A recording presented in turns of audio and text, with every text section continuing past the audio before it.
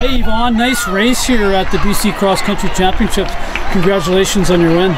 Thank you. Um, well, I'm really excited that I won and I'm really happy because I worked really hard to be here and yeah, so I'm really excited.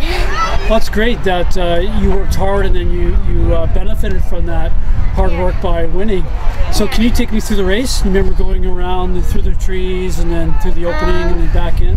Well, I was trying to pass the two boys that were in front of me, but they got ahead of me. Um, I was I was starting to feel like throwing up, so I wasn't feeling good, but I, I kept going.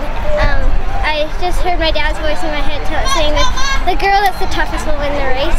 So Oh wow, yeah, those are uh, wise words. So you are you're representing Naramata uh, School. So that's in uh, that's near Kelowna in Penticton, no, isn't it? Naramata Club, Naramata, the Penticton Athletics Club.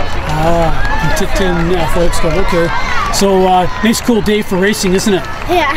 yeah. What do you have coming up? Um, I don't know. You might have some more school races, with that. Well, my my school isn't doing school races for some reason, but um, I'm going into cross country skiing in the winter, so I'm excited for that. So that's exciting because there are some great long distance runners uh, through history who have spent a lot of time cross country skiing become better runners. Yeah. So, uh, how long do you spend cross country skiing when you're out there?